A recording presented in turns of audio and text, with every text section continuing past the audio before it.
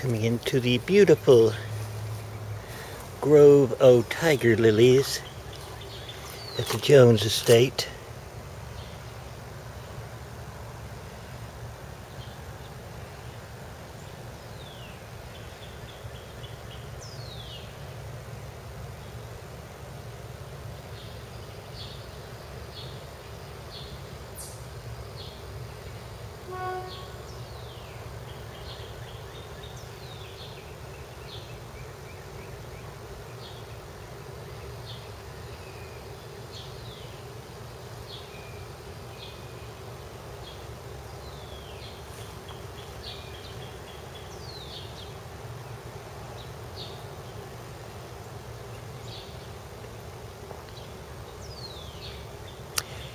Yes, it's orange for miles here.